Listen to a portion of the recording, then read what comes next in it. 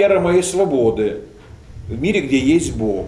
И какова мера, мера, мера моей свободы в мире, где Бога нету? Вот есть масса-масса проблем. Вот я хочу вам напомнить великую мифологему восстания Люцифера. Ведь, знаете, вот если бы не было Люцифера, то не было бы вообще много чего хорошего в мире. Но не было бы Гетовского Фауста, правильно, да? Не было бы Лермонтовского демона. Люцифер это создание очень интересное, и это любимый ангел Бога. Я вовсе не хочу вам проповедовать люциферианство, я от этого далек, но я хочу сказать, что история была бы пресной без Люцифера, а Люцифер вот в ней вот в нее внес вообще нечто такое пикантное. Да вообще была бы история, если бы не было Люцифера, если не было бы падения ангелов и потом падения людей. Так вот, давайте подумаем сейчас э, о том, что сделал Люцифер. И э, попробуем стать на его место. Вот Бог создал Люцифера. Так, и Бог сказал ему, ты свободен. Причем ведь Бог дает свободу человеку, и своему любому творению, и человеку, и ангелу, свободу дает ее как? Вот ничем ее не ограничивает. Бог придает дар свободы, вот согласно христианству, придает ее не умоляя. Я получил эту свободу, я получил эту свободу. Так. Хорошо, но мне говорят, что я должен почитать Бога, я должен любить Бога. Это есть ограничение моей свободы? Ну да, вы скажете, что я это могу делать добровольно. Я могу это делать через любовь, через пожертвование. Пожалуйста, все равно это умоление свободы. Понимаете меня, да? Никуда вы от этого не уйдете. Так? Никуда от этого не уйдете, да? Вы себя, свободу здесь сами ограничили. Пускай через любовь, пускай через жертву, пускай через любовь. И вот Люцифер сказал, а я хочу быть свободным от Бога. Понимаете, это вполне законная попытка, вполне. Если бы не было Люцифера, когда это делал кто-то другой. Вот в пространстве логических возможностей была такая ниша предусмотрена. Люцифер это сделал, но, наверное, у него не получилось как следует, наверное, он не смог творить здесь ничего, как это Бог, не смог вот стать творцом миров, ну, потерпел неудачу, но как-то ее компенсировал. Вообще, короче говоря, здесь, ну, это же ведь это же мифология, и великая мифология. И э, здесь самая главная поставлена проблема. Вот э, Бог ограничил свободу или не ограничил свободу? Хорошо, давайте эту тему продолжим дальше. Да, я верю в Бога. Хотя я вообще абсолютно атеист. Но я люблю Бога и служу Богу, хотя я атеист, стопроцентный. Вот это мой парадокс. Так. Вот, вы знаете, что часто на фронтонных храмах изображают треугольник, немножечко масонский по своему духу символ, и там око Божие, всевидящее око Божие. Вот давайте так, предложим, я женат, но я, к счастью, свободен, я холост. Вот я изменяю своей жене. Это интересное занятие. Так? Бог это все знает. Бог же следующее существо. Значит, моя личная жизнь находится под неким высшим контролем. Я очень популистский сейчас говорю, но вы понимаете, что я затрагиваю великую проблему. То есть всеведение Бога мы свободу ограничиваем. Согласны вы с этим? Согласна, да. Ну да, Бог, Он благ, и вообще, ну как может от Бога спрятаться, или зачем, наоборот, надо чтобы было все на виду, и надо стараться вот, не ударить грязь лицом, вообще быть добродетельным, хорошим и так далее. И так далее. Но это все скукотища, и жизнь, она никогда не, в эти схемы, в, в эти моральные тиски никогда не, не ляжет. Ну вот по этому поводу я могу вспомнить нашего великого философа Льва Платоновича Красавина, который на меня очень влиял. Ну, Лев Платонович Красавин, он из числа русских иммигрантов, это вот типа людей, которые на бедном пароходе покинули Россию, но он оказался в Литве оказался в Литве, в Каунасе, после революции. Это великий русский мыслитель. А я вот, э, когда молодости, я понял, что в Прибалтике это троянский конь. Что в Прибалтике можно найти много литературы антисоветской. И с юных лет туда наезжал, и вообще хорошо знал людей, которые Красавина слушали, и книги Красавина были давно-давно, всегда, тогда уже были. Я знал людей, которые были с ним в лагерях, вот. И вот он сидел в лагерях. Он, после, конечно, его арестовали, когда Литва отошла к Советскому Союзу. Его отправили на север до Урал, был такой лагерь Апись. Вот он там что-то писал, сейчас кое-что издано уже из этих лагерных его записок. И вот ему было откровение, так говорит легенда. Ему, ему, вот я считаю, это одно из потрясающих откровений в истории христианской мысли.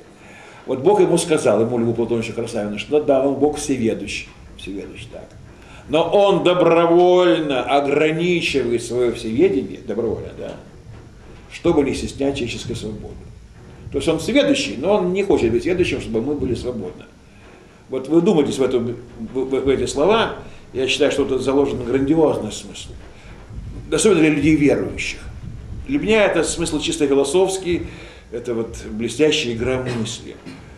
Вот. Но я хочу сказать одно, что даже вот если, значит, Бог добровольно ограничил свое всеведение, я все равно, я все равно желаю быть свободным от э, давления Бога. А с другой стороны, я боюсь безблагодатности, боюсь богоставленности. И тут начинается антиномия. И вот э, мне нравится быть э, откровенным. Вот скажешь, что такое, да, атеист а любит Бога. Скажешь, что это такое, какой-то постмодерн, да, какая-то мешанина. А на самом деле это ведь универсально очень понятные вещи. Это вот так вот я чувствую, так это я переживаю. И иногда я предлагаю студентам сделать выбор из трех моделей мира. Вот давайте сейчас вы такой выбор попробуйте сделать. Я вам предлагаю мир, где доказано, что Бог существует. Больше того, теофании Бога стали чем-то регулярным, и, так сказать, Бог это как вот некий, некий начальник над нами, да, ну, такие вот э, типа Эдема модели. Вы знаете, я не хочу такого мира. Э, там нет свободы. Свобода здесь исключена. Вот. Я от этого мира отказываюсь. Второй вариант – Мир, где доказано, что нет Бога. Вот все, нет Бога и точка. И этого мира не хочу. Потому что э, я боюсь богоставности. Когда я одинок, я обращаюсь к Богу, я умею молиться. И вообще я очень много написал на христианские темы. И когда я пишу, я, я чувствую Бога, а потом вот это чувство у меня проходит. Вот так бывает, да? Вот нет, я, этого мира я не хочу. И третий вариант. Есть неопределенность. Может быть, есть Бог, а может нет. Да. Великая неопределенность. Вот этот мир я выбираю. Да? И я считаю, что наш мир устроен именно так. И это гениальное устройство нашего мира. А почему он так устроен? Ну, давайте сейчас вот, я это могу доказать чисто физически. Чисто физически так? Бога мы знаем прежде всего как Творца. Ну, знаем или не знаем, это вопрос еще, знаем ли мы его. Но мы мыслим его как Творца. Представляем его себя как Творца. Хорошо. Да, Бог создал мир из ничего. Это гениальная мифологема, и она находится какую-то параллель в новейшей космологии, в релятивистской космологии, где мир трактуется как флуктуация вакуума. Да, 18 лет назад была сингулярная точка, вот, произошел большой взрыв. Что было до этой сингулярности? Конечно, когда эта модель была предложена, когда этот сценарий стал развиваться, то появился аббат Леметр и сказал, что тут описывается сотворение Божие. Ну, это, конечно, очень спорно, хотя интересно. Так вот, смотрите, давайте сейчас попробуем добраться до Бога, если он и есть. Так? Нам нужно экстраполировать время назад, нам, надо вселенно расширяющий собрать снова вот этот комок, потом в точку сингулярности, вот она точка сингулярности, точка Т, Т0, нулевого времени. А что такое сингулярность? Это квантовый объект. Квантовый объект. Если это квантовый объект, Вселенная была квантовым объектом, то действует в соотношении неопределенности Гейсенберга. Отношение неопределенности Гейсенберга, оно не позволяет восстановить начальные условия. Короче говоря, что за сингулярность? Быть может Бог. Быть может случайность. Быть может я сам, каким-то образом возбудивший вакуум, действуя на него, воздействуя на него из будущего. Понимаете, великая неопределенность, квантовая неопределенность. Так? Мир так устроен, что начало его принципиально скрыто от познания. И что это обеспечивает? Это обеспечивает свободу выбора. Выбирая веру в Бога, но ты никогда не докажешь, что есть Бог Э, выбирай веру в случае, ты материалист, но ты никогда не докажешь, что нет Бога. Вы знаете, вот если бы я был Богом, а я считаю, что я должен им стать, потому что христианство нас к этому призывает. Как говорит э, Афанасий Александрийский, Бог стал человеком для того, чтобы человек стал Богом. Значит так, в принципе, у меня есть такой, такой потенциал. Я осуществлю свой теозис, я поднимусь на уровень Творца, если буду творить без ничего, вот если буду делать мир по своей схеме, я вот сделаю мир именно таким. Чтобы Бог, если, если я Бог, да, ну чтобы я себя никак не проявлял в этом мире, чтобы я не давил на людей. Чтобы этот мир казался естественным, спонтанным, самопроизвольным. А может быть, он, он есть такой и без меня, а мне кажется, что я его создал. И все тут начинается игра смыслов, и э, концы и начало э, завязывается в какой-то странный топологический узел, это очень хорошо. Да. То есть я скажу так, мир устроен так, что в нем есть онтологическое обеспечение свободы. И это устройство, мне кажется, прекрасным.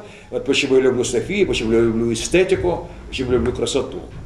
Вот, хорошо. Значит, вопрос Бога мы с вами решили. Так, э, это постмодернистское решение, оно далеко от всякого фанатизма. Я люблю христианство, и очень много пишу на христианские темы. Я люблю Троицу. Троица, э, главное, это диалектика нераздельного Неслиянова. Так, вот Неслиянность это есть э, некий механизм, который препятствует, э, препятствует несвободе трех лиц. Они не сливаются в одно. Троица, троица нет того гомогенного единства, которое присуще и Дао, и Брахману, и Нирване, и Аллаху. Троица, она вот жизненно, потому что у меня есть разнообразие, у меня есть информация. И Троица, она, вот, э, она, она не стесняет. Когда в нее входишь, когда с ней взаимодействуешь, что это, это свобода. Но свобода уже какая? Благодатная свобода. Свобода, где есть ограничения. Вот давайте об этих ограничениях поговорим. Значит, э, или вы выбираете свободу абсолютно ничтойную, пустотную, или вы выбираете свободу с какими-то разумными ограничениями. Ну, эти ограничения какие? Они известны давно в этике, да? Но вот так живи, чтобы твоя свобода не ограничивала свободу другого. Это великий этический принцип. Вот. Э, конечно, здесь встает очень много вопросов. Что такое ограничение свободы? И как это ограничение надо понимать? Но нет свободы реально без ответственности. Вот как, как хоть убей. Это наш мир, физический мир, мир, который проявлен, мир, который реализован, мир, который материализован. Еще раз повторяю, э, свобода, где нет никаких альтернатив, типа ответственности или необходимости, это свобода ничтойного уровня бытия или предбытия, или добытия, или сверхбытия, или небытия, или антибытия, как угодно это называете. Вот здесь мы должны, должны так сказать, э, принять какие-то какие рамки. Какие же это рамки? Вот это вот очень вопрос волнующий, и я считаю, что на него ответа нету. Э, есть только какие-то варианты ответа. Но прежде всего, прежде всего, так, э, цель каждого человека, цель каждого человека в этом мире раскрыть свой, свою идею, раскрыть э, свой потенциал. Для этого необходимы условия. Часто их нету. И часто люди не могут себя реализовать, не могут раскрыться. И это и есть как раз не свобода в ее самом там, конкретном э, и жутком выражении, когда отсутствует свобода для самораскрытия, для самореализации личности. Нередко человек сам мешает себе, и вот э, все-таки что нужно предусмотреть наперед, когда ты входишь в этот мир и хочешь в нем себя проявить, хочешь чувствовать себя свободным, свободным, да, вот что надо взять, принять во внимание.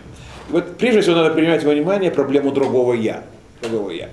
Это одна из самых э, глубинных проблем в современной философии, великая проблема.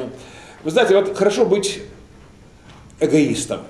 И слово эгоизм я беру со знаком плюс. Э, хорошо быть солипсистом. Вот солипсизм, знаете, что такое солипсизм? Это философия, которая утверждает, что есть вот только вот мое я, и кроме него нет ничего. Так? Как хорошо писал Пастернак, и сады, и пруды, и ограды, и кипящие белыми воплями, мироздание, лишь страсти разряды, чическим сердцем накопленным. Это вот и есть солипсизм, его творческое проявление. Я очень люблю Беркли.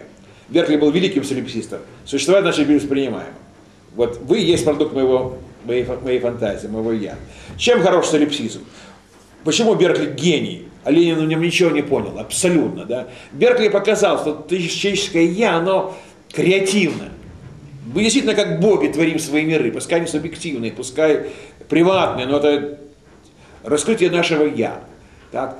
Но, конечно же, Беркли не мог справиться с проблемой и другого, другой, другого «я», и вообще с проблемой реальности. И он вынужден был э, от субъективного идеализма перейти к объективному и вести гипотезу Бога.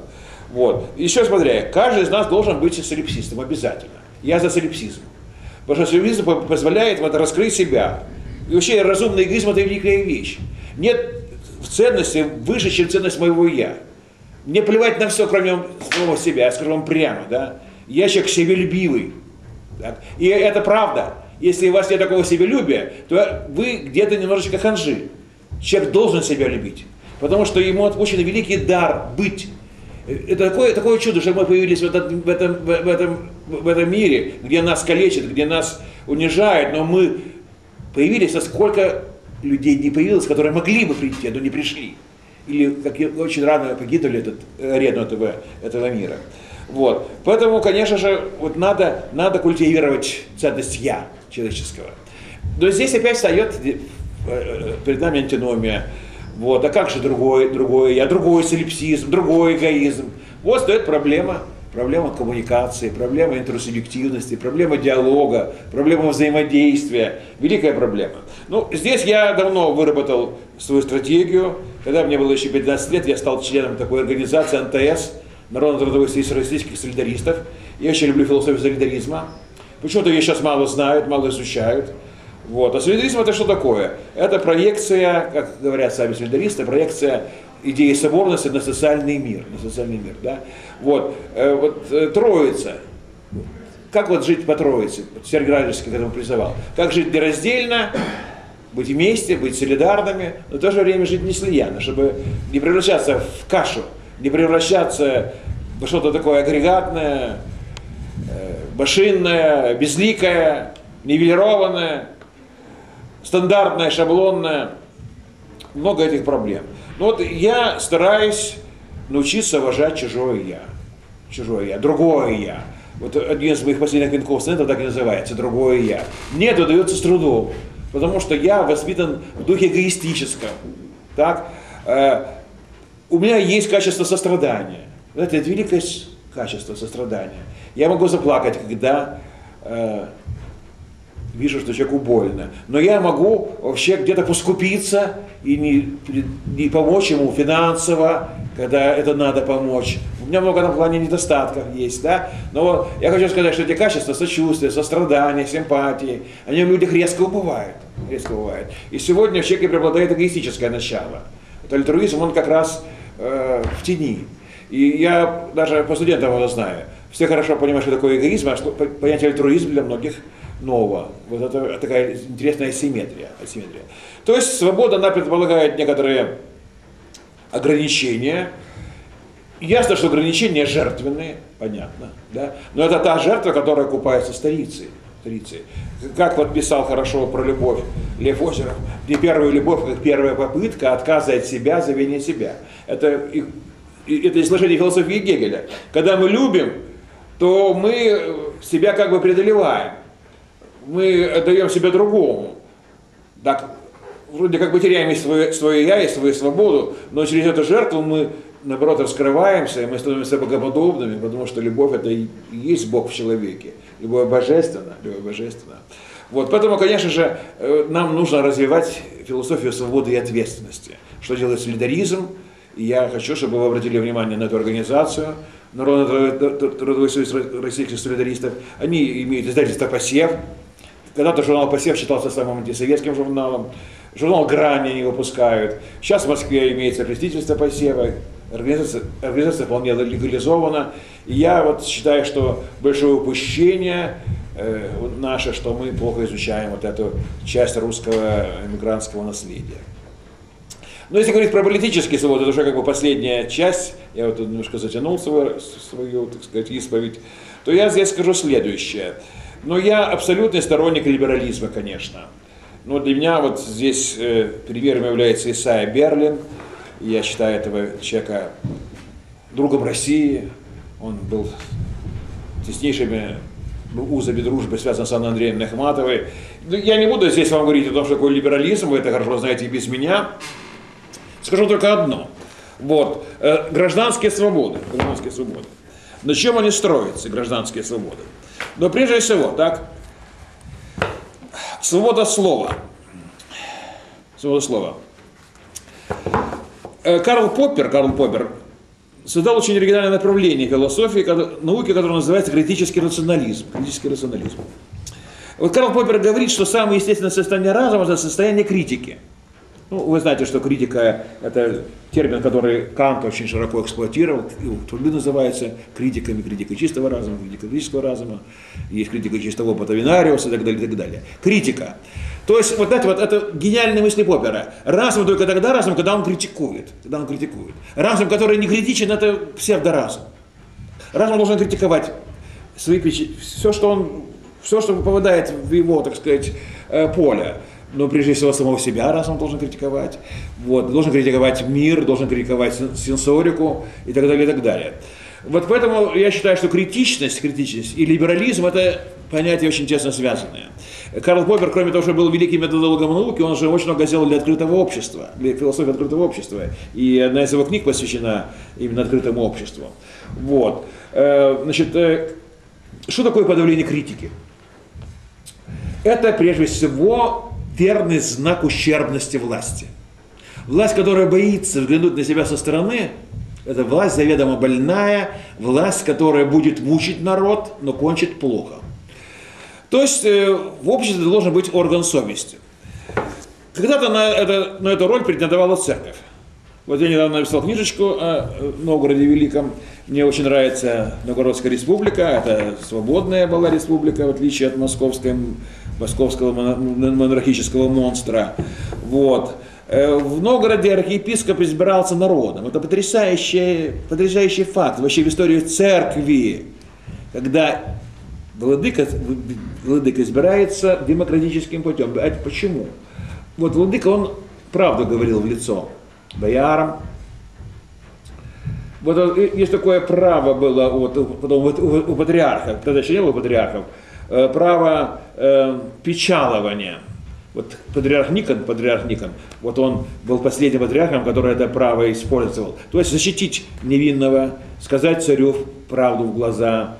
Так, э, Алексей Михайлович этого не мог стерпеть и загнал Никона в угол, а Петр I вообще отменил этот институт печатывания. Но, поскольку я понял про Никона, тут надо сказать, что это вообще великий человек и очень трагическая фигура первый политически сильный у нас в России, можно сказать. Ну, не первый, конечно, а вот э, ну, первый десяти... Ну, что-то близкое тому, что вот мы знаем по 20 веку. Вот так. Какая-то есть аналогия в его судьбе с аналогией с судьбой Сахарова, Солженицына и так далее, и так далее. Вот э, Никон развивал идею симфонии властей, что церковь должна э, быть симфонией с э, властью мирской, но должна вот, иметь на ней превосходство в плане нравственном ну это же как, как это государство потерпит контроль над собой, правильно, да? Это контроль какой? Критический контроль. Да? То есть фактически патриарх Никон говорил в духе Карла Поппера, понимаете, да? Вот. И, конечно, он с этого пострадал, с этого пострадал. Поэтому я скажу так, да, надо избегать страха перед критикой. Вот есть такая критикофобия. Фобия, да. Критика это здорово, здорово. Вот когда я был молодой, вот я учился в институте, меня, я очень любил встречаться со старыми поэтами. Меня как-то тогда мальчишку, как-то вот помню, и Алексей Крученых там принимал, там, да, и все эти ребята 20-х годов, ну, не ребята, конечно, это уже были пожилые люди, но и странными мальчишками были, так, вот. И, значит, э, э, я им показываю стихи, они говорят, Юра, плохо ты пишешь. Ну вот, Павел Григорьевич Анакольский меня часто так говорит, слушай, ну что это такое, ты что, число русского не чувствуешь, да? а я обижался, дулся на него, да? А правильно, что меня критиковал. Спасибо им, что они меня критиковали, да? И сейчас я понимаю, как критика, она нужна везде и всему, да? Критика это есть вот условия свободы. Эта критика есть фермент свободного саморазвития, свободного самораскрытия. И власть, которая критику зажимает, эта власть неизбежно идет в сторону тоталитаризма. И э, главное, эта власть бездарна, она несостоятельна. Понимаете, да? Потому что критика это диалог, критика это полифония, критика это живая многоголосие сомнений. Так что вот если плохо со свободой слова, то это, конечно, признак дурной. Из этой свободы надо бороться. Но я считаю, дорогие друзья, что у нас, например, пока свобода слова есть. Вот я читаю газету «Час ноль», и я считаю, что, знаете, друзья, это свободная газета. Я не знаю, если она закончится и как это кончится, да. Но, например, скажем, вот тут есть моя статья опубликована – я даже испугался, как прочитал. Да? Вот недавно мы видели, помните, Ленин сказал, что Кухаркин должен управлять государством, да? Великая мысль у Ленина. Это же даосизм чистой виды. Вот недавно мы видели МГБшника в фильме «В круге первом». Прекрасный фильм. Это матерые государственники. Но как же они бездарны? Их вязка оказалась неизбежным. Право Кухарки лучше чекистов. На этом стоит русский анархизм. Ну, скажу, ну я так думаю, понимаете, но это же, э, я не знаю, я думаю, газета э, курьер Карелия не напечатает этого. А это напечатано, да. И это нормально. И это моя реакция на чудесный фильм Солженицына, э, Александра Исаевича Солженицына. И нет ничего здесь плохого. Даже если есть какая-то ирония, то она, ирония это вещь здоровая. Понимаете, да? Вот знаете, вот я не хочу говорить персонально, скажем, Владимир Владимировиче Путине. Не хочу. Я его плохо знаю. он мне не интересен, так? Я не, не хожу в его электорат. Но мне кажется, что вот он, у него плохо дела с чувством юмора. Во-первых, эту программу «Куклы» закрыли. А тут я недавно смотрю НТВ и гляжу, его показывают как, вроде как куклу, но только без э, э, вот это, без, да, вот так, обрезан, да? Головы нету. Нет головы, да? Обратите внимание на это? Вот такой вот ход, да, чтобы, значит, очевидно, его уязвляет шутка. Так? знаете что? Из коней народ вышучивает правителей. И это нормально. Нормально, понимаете, да? Остроты, анекдоты, шаржи, карикатуры. Когда человек стоит во главе громадного государства, скажем, Рима, то что Цезарь до этих карикатур? Ну разве можно на это раздражаться? Понимаете, да? Поэтому я считаю, что должна быть свобода смеха, свобода смеха, свобода иронии, свобода сарказма. Это здоровое проявление жизни. Это в интересах страны, чтобы мы смеялись. Зачем эти унылые, вытянутые хари? Да? Надо это все. Поэтому вот я очень хочу пожелать нашему президенту проникнуться духом э, смеховой культуры, вот, призвать скоморохов в Кремль. И как-то вот немножко потешиться, да, расковаться слегка. Но я лично к нему отношусь очень хорошо. Вот я сегодня получил письмо от него, обнадеживающее. И у него очень трудная миссия, так. И вот я чувствую, что он страдает вот отсутствием юмора. И, наверное, вот надо помолиться, чтобы у него это качество появилось. И да, все пойдет в гору. А, и программа куклы, может быть, вернется в эфир. Да. Это, это, это слово. Теперь дальше. Свобода выбора. Свобода выбора, я имею в виду в, в, в структуру власти. Структуру власти. Ну, дорогие друзья, я вот э, большой поклонник Александра Александровича, Александра Александровича Любящего, у которого есть гениальная книга «А если бы?». А если бы? Ну, вы чувствуете сослагательное наклонение, которого не терпит история. Неправда, история терпит сослагательное наклонение. Очень даже терпит. Так вот вопрос. А если бы взял верх Новгород, а не Москва? Помните, это страшный конфликт, роковой для России. Я думаю, было бы гораздо лучше для нас с вами, Потому что Москва, она, она провалила задание Сергия Радонежского. Москва повела Россию по пути э, такой тоталитарной нераздельности, игнорируя неслиянность и этносов, и личностей. Вот новгородская веча. Ведь это великая вещь, новгородская вещь. А вообще мы живем же на новгородской земле. И как замечательно, что вот э, Иван III ударил по Новгороду, лишил свобод. Потом Иван Грозный ударил по Новгороду задушил его. Но ведь до провинции-то Москва не достала, так? Это же факт, факт. Пяти, ну, эти самые э, новгородские пятины, в том числе Абонежская пятина, где мы сейчас находимся, она жила по, по новгородскому сценарию. Почему здесь былины сохранились? Почему здесь э, прекрасное зодчество деревянное? Москва руки не достали, руки были короткие. Вертикаль власти не добралась до русского севера. Это потрясающе. И мы должны это чувствовать себе. Это еще это следует. Вече, вече, да. Ну что, был подкуп? Был. Дорогие друзья, демократия, демократия, она не есть идеал. Вообще я хочу сказать, что самое опасное в философии свободы на социальном уровне это ее идеализация. Понимаете, да? Идеальное бывает только в мире идей. Наш мир это мир асимптот, мир э, аппроксиматический, где есть приближение. Это мир, где неизбежна погрешности. Отсюда великая теория фалибилизма Карла Поппера, что вот, вот нет вот истины такой вот стопроцентной, дистиллированной. Всегда есть какие-то вот колебания, какие-то э, замутнения. Это нормально. Вот Дауродская вечи. Да, было там не совсем такое хорошее, да, было, было лоббирование, да, но был вечевой колокол. Каждый гражданин мог подойти по нему и ударить. Если ты это сделал с дуру, тебя побьют и крепко. Но у тебя было право созвать вечер у каждого гражданина. Сегодня же нельзя до власти до, достучаться. Так. Где вечевой колокол в России? Его нету.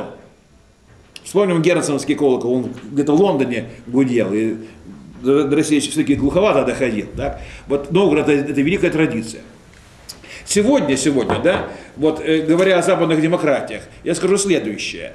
Э, все-таки западные демократии делают все возможное, чтобы минимизировать зло, зло либерализма. Зло, либерали... есть, зло есть во всем.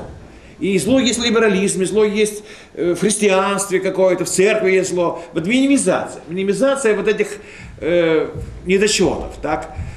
Вы знаете, э, как вот, например, я, я считаю, что вот, ну, у нас вообще нет настоящего парламента. Но, смотрите, ну возьмем, так, вот, возьмем фигуру Казанцева, так, вот генерала. Ну, во-первых, чеченский герой вроде как, да, вроде как представитель этого президента на юге, так, а ведь какая-то грязная фигура оказалась, что там какие-то махинации, нечестно на руку. Я вот, что такое лоббирование законов? Это же взятки, взятки, да. Наша страна, она насквозь коррумпирована. И я, я считаю, коррупция необратима. Ничего с ней не сделаешь этой коррупцией. Просто это э, раковая опухоль социальная, и она ведет к летальному исходу, и это хорошо даже. Это самоуничтожение, это замечательный способ борьбы с этим злом. Так? Вот. Но я что хочу сказать. Конечно же, у нас э, э, часто покупается, вот даже есть такса, сколько стоит место губернатора. Кому деньги идут, я не знаю. Вот это так, я, извините, я говорю по слухам, да, может я ошибаюсь. Но то, что такие слухи циркулируют, это тоже есть показатель состояния общества. Вот. Э, каким бы ни был дурным парламентский строй, но лучше ничего честно не, не придумала. Поэтому западный либерализм сегодня есть э, лучшее, что имеет чечество. Пожалуйста, пускай кто-то не считает это монархией. Но русская монархия, русская монархия, это очень темное дело. Ну, возьмите династию Романовых, династия Романовых. Так. Во-первых, ну, я против э, всяких российских штучек. Ну, Екатерина II была, конечно, замечательная женщина, очень такой любвеобильной, но она была государственная женщина, но это, ничего русского там не, было, конечно, да. И вообще это, да бог с ним, пускай это немцы, но главное, так, главное. Э, династия Романова несет ответственность за крепостное право. Это великая беда для России. Инерция крепостного права до сих пор нами не отделена. Мы живем в ауре крепостного права. Александр II, спасибо Жуковскому, что он его наставил на ум разум, так, сделал попытку это право отменить, но это была попытка очень половинчатая, непоследовательная.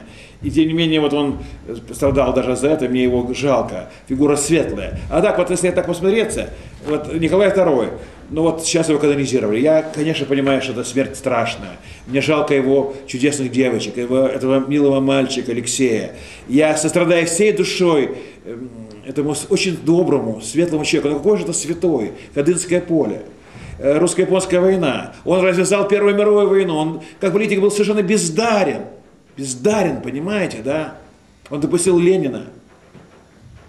Конечно, ну что так его обвинять? Это обвинения тоже такие вот Божий суд я подменяю сейчас, это неправильно, да? Но вот нельзя, монархия, монархия, это, э, знаете, она красива, она красива, как, вот, как английская монархия, да? В этом есть своя, свой романтизм исторический. Перестаньте разговаривать, пожалуйста. А? Вот. Я считаю, что э, путь монархии закрыт для нас для нас открыт путь возвращения к тоталитарности. Это тоже страшная вещь, страшная вещь. Вот поэтому я являюсь абсолютным сторонником либерализма. либерализма. Какие-никакие выборы, а все-таки хорошо, когда мы выбирали и губернатора, и мэра, потому что при нынешней системе, которую вот принял Владимир Путин, мне кажется, нет гарантии того, что вот у власти будут оставаться люди достойные этого.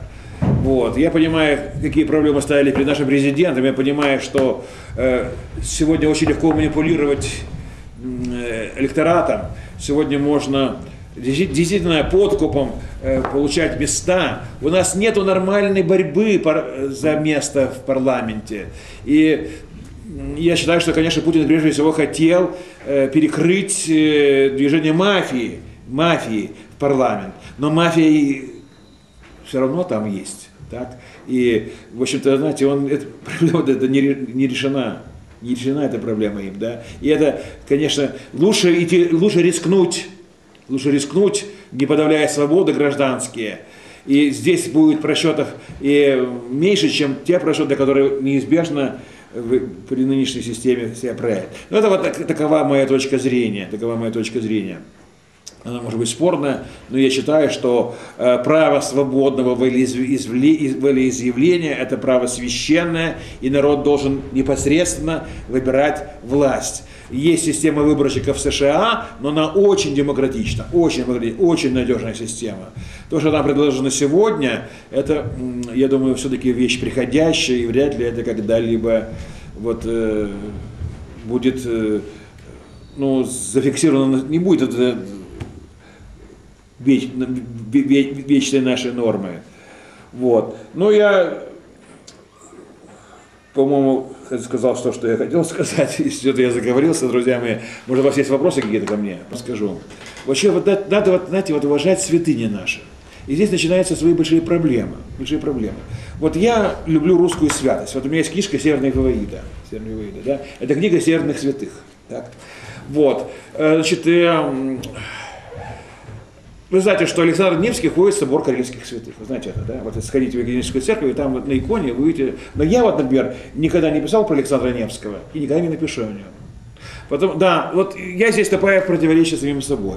Дело в том, что, конечно, вот он, он канонизирован, он защитник нашего Отечества. Но мы знаем, что в его биографии э, были моменты очень странные, коллаборационистские в связи с э, татаро-монгольским языком. Есть прекрасная литература, вот, э, где рассказано о том, что Александр Невский делал в Орде и как он там себя вел.